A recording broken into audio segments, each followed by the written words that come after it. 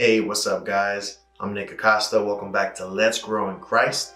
And I want to talk to you guys about this book by Francis Chan and his wife, Lisa Chan. It's called You and Me Forever Marriage and Light of Eternity.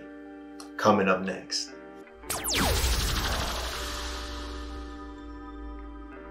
Hey, what's up, everybody? Welcome back to Let's Grow in Christ. If this is your first time, go ahead and hit that subscribe button, and we're going to help you grow in Christ like never before. Also, hit that notification bell so that you get notified every time we post a video and you don't miss a thing. Okay, so we're going to be talking about this book by Francis Chan. So, this book um, is a book that our ministry, we've been doing this in our book club. We do a book club every Sunday. We gather with believers here in the city of Charlotte, North Carolina, and uh, we read a whole chapter and we discuss it. Um, and it's mostly uh, married couples, um, but I, I, did have a couple people who um, inquired about it who, who, are not married yet, um, and I think they're they're about to join. But uh, yeah, most of us are, are, married in that group, and uh, we've been loving this book so far. Um, we love it because it's different. It's not just your common Christian um, marriage book. It's a book that focuses on what's truly important, what the Bible truly emphasizes and teaches, um, even uh, in the topic of marriage. Okay, uh, so I just wanted to recommend this book to you guys, uh, You and Me Forever. If you're married, if you're thinking of being married, I definitely do recommend it. Check it out. Um, I love it because it's convicting. Um, it's very convicting. Uh, it reminds us of scripture, of the teachings of Jesus, our Lord and Savior. Of course, those are the teachings we're supposed to follow. Um, and it shows us that our lives, when we get married, are not supposed to uh, change. Uh, you know, they're not supposed to change in the in in the fact um, that we're supposed to live for our marriage now. You know, um, it, it, our lives do change, but we are supposed to be disciples of Jesus, children of God, living for God for the purpose of doing His will, glorifying Him, leading people to Him, whether we're single or married. And that's what a lot of Christian marriage books miss. And, and I don't like that. It kind of makes it about us, about each other, you, you, you, me, me, me. It's about our spouse now. It's about our children now. It's about their soccer practice now. It's about our savings and our retirement. And that's not the Bible. Jesus said to follow him and to make disciples, to preach the gospel, to lead people to him. And it's still our purpose and our calling, whether we are single or married. Okay, now I want to read you a, a, few lines from this book just to show you uh, what kind of book it is and what kind of stuff they say. And I'm telling you, it's going to lead you to a better relationship with the Lord, a greater fear of the Lord, greater conviction. And that's what we need, guys. We don't need, you know, 10 tips on, on how to keep the marriage alive and 10 tips on dating and, um, and things like that. Uh, we need something from the Bible and the Bible doesn't teach that. The Bible says, deny yourself, love your, your, your wife as Christ loves the church respect your husband or honor your husband or submit to your husband like the church ought to um, ought to do to the Lord Jesus Christ. So it, it keeps it biblical and that's what I like whether you like it or not you know this is a, a Christian channel um, and it talks about the Christian book the Bible so um, that's what I'm going to be promoting um, things that are that, that, I think are biblical that are going to help us um, such as those commands that I just mentioned um, which I know a lot of people they say it's controversial but um, if Jesus said it, if it's in the Bible, it shouldn't be controversial in the church. Maybe it should be controversial in the world, but not the church. So check this out. I want to read a few lines here. So this line right here says, uh, this is the mistake a lot of couples make. They spend a lot of time looking at themselves and each other, but very little time staring at God. when this is the focus, they naturally begin to structure every aspect of their lives around the few years they have with each other on earth rather than the millions they will spend in his presence or away from his presence. These people live as though they are not dying. They live as though the king is not returning.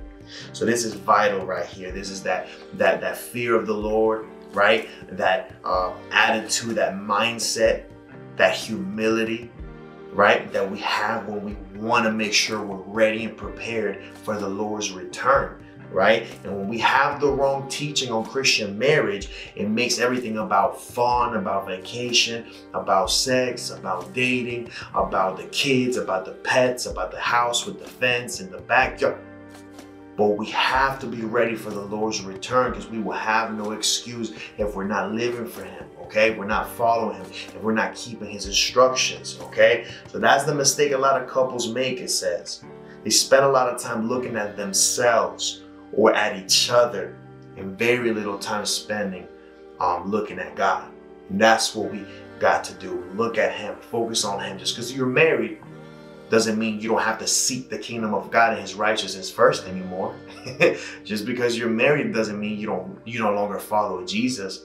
You're no longer a fisher of men. You're no longer a disciple, a student of the Lord, right? So our attention must still be on Him. Our focus should still be God. Amen. And I want you guys to um, look at this here. Check out this little table right here.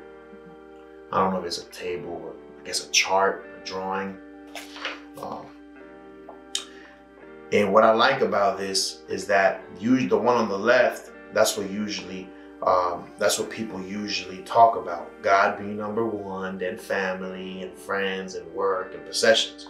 But the one on the right, it separates them. It gives them a, a, a big distance between one another because they're so different. They're not on the same level. God and everything else, they're not on the same level. Our focus should be so much on God that there's a big gap and big difference between the other stuff. So God number one, and then all the way down, basically everything else. That's why Jesus said, seek the kingdom of God first and his righteousness, and all these things shall be added to you. What are all things? Your basic necessities. Food, drink, and clothing. Don't worry about tomorrow. Don't be concerned with the things of this world, right? the issues of life, the pride of life, the lust of the flesh, right? So all that stuff needs to be all the way down and God needs to be number one. I love that. And let's see if I can find something else for you guys. All right, so this page right here says, displaying God to the world is the purpose of the church, and it's also the purpose of marriage.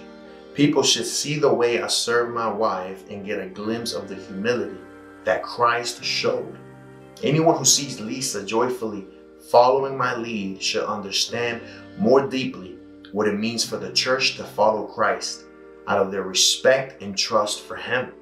God created marriage to be a picture that displays Christ to the world. My point in all of this is to insist that there's more at stake in your marriage than just your marriage. The beauty of the gospel is at stake. So that's another gospel, God centered um, paragraph right there. Displaying God to the world is the purpose of the church. It's not about look at me, look at my wife, look at my husband. They're so sexy, they're so cute, they're so handsome, they're such good workers. No, no, no. Are you showing Christ through your marriage to the world? It, it's God getting the glory, and that's what it's supposed to be about. Amen. And here's one last thing that I want to share with you guys. I'm telling you, you got to get this book. I strongly recommend it. It says, Jesus was clear that following him meant, get this, following him. the church has put so much effort into inventing a new form of following Christ that doesn't require imitating him. We teach that even though Jesus allowed his rights to be trampled, we should fight for ours. We teach that even though Jesus lived simply, we have the right to live luxuriously, or as some prefer the term, comfortably. even as we teach that Jesus was rejected by the world, we pursue popularity. Ever wonder how many followers Jesus would have on Twitter or how many likes he would have on his Facebook post. you know, and, and, and, it talks about things like these. It's just priority. right? What, what, what are we doing here? What are we focused on? What what should be the focus um, of our lives, right? What should be the focus of our lives? Come on, imitating God. The Bible says, imitate God, right? Be holy in conduct as your Father in heaven is holy. Follow Jesus. Deny yourself. Pick up your cross. Follow Christ. Learn from Him and do what He did and teach what He taught. That's Christianity. And a lot of times, marriage distracts Christians from their true Christian purpose. But the right way, and I think this is what the book teaches and emphasizes, and, and, I love the message, the right way to Christian marriage is to use your marriage to pursue your purpose and your calling in Christ Jesus together and give God even the more glory. And that's why I think you should get this book. Giving God more glory through your marriage, not taking the glory and making it all about your marriage, but making everything still about God. But now, two people, one flesh, glorifying God together. That's powerful. And I think that's how it should be. Listen, guys, if you like this video, I ask you to hit the like button leave me a comment. Let me know. Have you read this book? Are you thinking of getting it? What questions do you have? Maybe I can help you out in making your decision. Um, share the video, subscribe to the channel, and I'm going to help you grow in Christ like never before. Okay? Um, listen, if you want to get the book, I'm to go ahead and put the link to, um, to the book on the description. And uh, if you want to join our book clubs, we're still having it. Now, if you watch this video a year from now, it's probably no longer going to be in effect, but we're still holding this book club every Sunday. So if you want to be a part of that, I will also um, uh, I will also ask you just to go ahead and leave a comment and I'll reach out to you with the information, okay? Because I don't have a sign up link for that. But we do have a sign up link for our online Bible studies that we have every Tuesday and Thursday night at 7 p.m. Eastern Time. I'll leave the link on the description for that. Um, so let's let's go ahead and uh, work at following Jesus, living for God, regardless whether we're single, whether we're married, whether we're widows, whatever. Jesus said, Follow me.